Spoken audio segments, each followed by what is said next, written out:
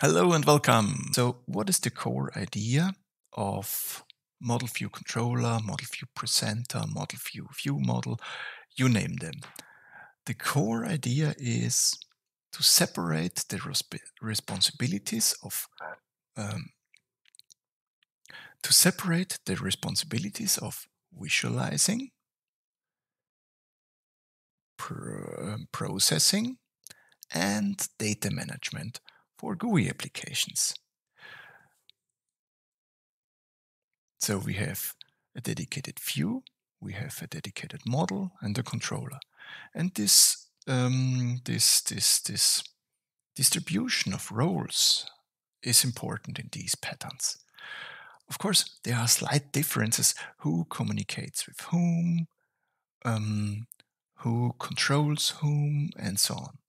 But we will talk about this when we come to this uh, separate lecture.